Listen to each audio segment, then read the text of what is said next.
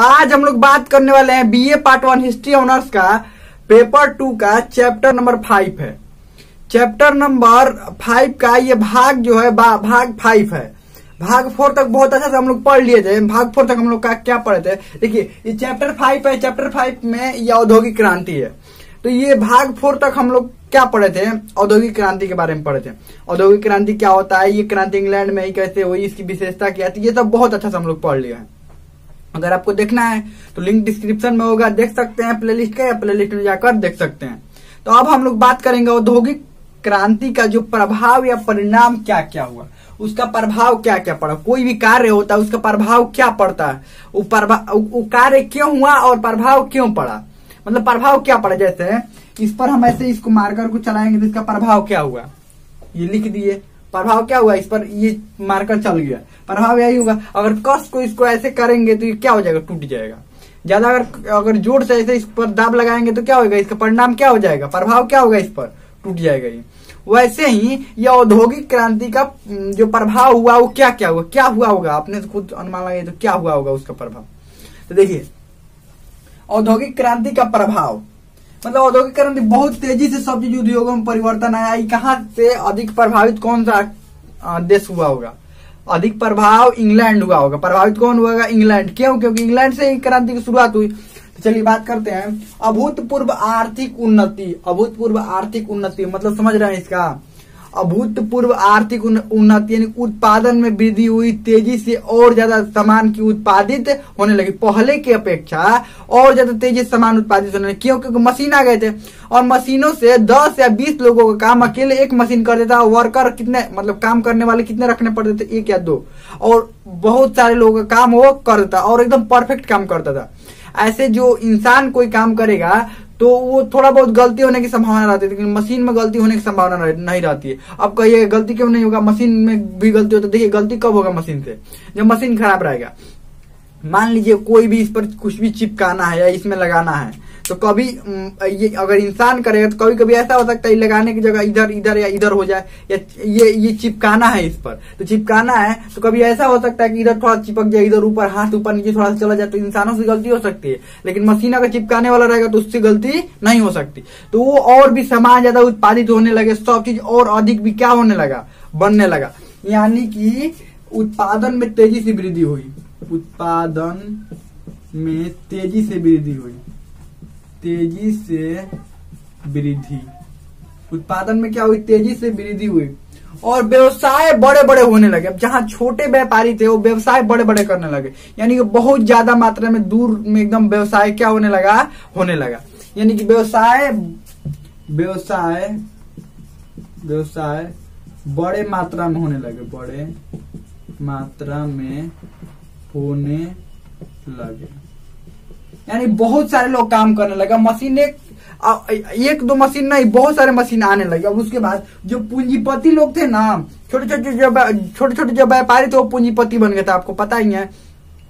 सबसे ज़्यादा फ़ायदा इंग्लैंड वालों को होता था। और फ़ायदा होगा तो पूंजीपति जो छोटे व्यापारी होगा बड़े बड़े पूंजीपति बनेंगे ही बनेंगे। क्यों फ़ायदा होता था? क्योंकि लोहा और कोयला की बहुत प्रचुरता थी और बहुत मात्रा में मिलता था, लोहा और कोयला। और दोनों पासे में मिल जाता था, जो कहीं और जाना भी नहीं पड़ता था। तो वो जो पूंजीपति हो गए तो पूंजीपति लोग बड़े बड़े संयंत्र, मशीन लगाने लगे बहुत बड़ा बड़ा और उसमें भी मजदूरों की ज़रूरत पड़ने लगी बहुत ज़्यादा। लेकिन उसमें दिक्कत ये था ना कि प्रशिक्षित मजदूरों की ज़रूरत पड़ती है। ट्रेनिंग दिया हुआ मजदूर चाहिए होते थे। अब मशीन चलाना है, ऐसे ही किसी मजदूर को रख देने पर दिक्कत हो जाएगा, ना मशीन उसीन खराब कर देगा। उल्टा दबाना बटन ये है मशीन चलाना सामान इधर डालना डाल देगा उधर से। हो जाएगा खराब ना। तो पहले प्रॉपर ट्रेनिंग उनको देना पड़ता था। और उसके बाद यार जो सीखे हुए होते हैं, होते थे मजदूर, उनको क्या करना पड़ता था, रखना पड़ता। है और जो जल्दी सीख जाते थे, उनको ज़्यादा पैसा मिलता था, लेकिन जो नहीं सीख पाते थे, उनको क्या होता था? उनको नौकरी नहीं मिल पाती थी, उनको काम नहीं मिल पाता था। तो जो बड़े बड़े पूंजीपति थे, बड़े पूंजीपति पूंजीपति बड़े बड़े संयंत्र लगाने लगे। बड़े संयंत्र संयंत्र मशीन होता है, संयंत्र लगाने लगाने लगे अब इससे क्या हुआ प्रति व्यवसाय में या व्यापार में? व्यापार में प्रतिद्वंदिता बढ़ गई मतलब समझ रहे हैं? प्रतिद्वंदिता। प्रतिद्वंदिता। बढ़ गई। बढ़ गई। कंपटीशन कंपटीशन बढ़ गया। एक सामान बनाने वाला, दस गो लोग हो गए। तो बताइए, कौन सा किसका सामान ये देखिए, समझा रहे हैं आपको। ये ग्राहक है, ये वही ग्राहक है। बनाने वाले तीन लोग हैं। ये ए, ये बी, ये सी। ये तीन गो लोग बनाने वाले हैं। ग्राहक एगो है एगो ना, मान लीजिए, समझिए, ये देश है, यहाँ पर व्यापार करना। तो लोगों को क्या चाहिए होता है? लोग, ग्राहक क्या चाहते हैं? कि जल्दी से जल्दी हमारा सामान मिल जाए और बढ़िया से बढ़िया, परफेक्ट एकदम हो। तो ये प्रतिद्वंदिता बढ़ गई कि जौन जो भी बढ़िया सामान देता था ना, जो व्यापारी अच्छा सामान और सस्ता।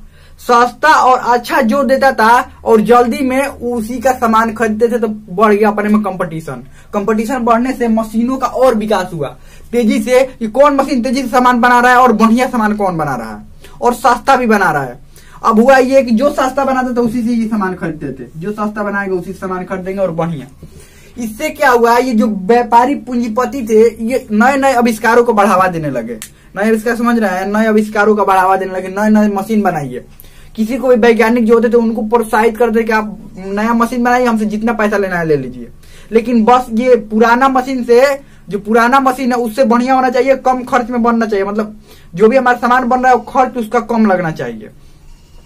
तो इससे क्या हुआ, वैज्ञानिक प्रोत्साहित हुए, क्योंकि कौन इसका? सपोर्ट कौन कर रहा था? बड़े बड़े पूंजीपति कर रहे थे। क्यों अपने फ़ायदा के लिए। तो ठीक भी है, कोई दिक्कत थोड़े था। तो बड़े बड़े पूंजीपति कर रहे थे कि आप अविष्कार कीजिए, सारा खर्चा कौन देगा? हम देंगे। वो पूंजीपति क्या कहते थे? सारा खर्चा हम देंगे तो इससे क्या हुआ? आविष्कार में तेज़ी से वृद्धि होने लगी। खूब नए नए मशीन बनने लगे। क्यों? क्योंकि वो जो भी नया मशीन आ जाता है ना, कुछ दिन चलाते थे, कहते थे, इससे भी बढ़िया बनाइए। फिर कुछ दिन चलाते थे, कहते इससे भी बढ़िया बनाइए। इससे भी बढ़िया बनाइए। तो अच्छा अच्छा मशीन क्या हुआ? बनने लगा और आविष्कारों का समर्थन कौन करते थे? नए नए आविष्कारों का समर्थन, ये बड़े बड़े पूंजीपति ही करते थे। आविष्कार कौन करवाता है? बड़े बड़े पूंजीपति और कोई भी नया, समझिए, नया मोबाइल बनता है। तो ये कौन बनवाता है नया मोबाइल? समर्थन इसका कौन करता है नया मोबाइल का? नया मोबाइल का समर्थन कंपनी वाला करेगा, पैसा कौन देगा नया मोबाइल का? अगर कोई नया मोबाइल बनाता है तो उसको पैसा कौन देता है?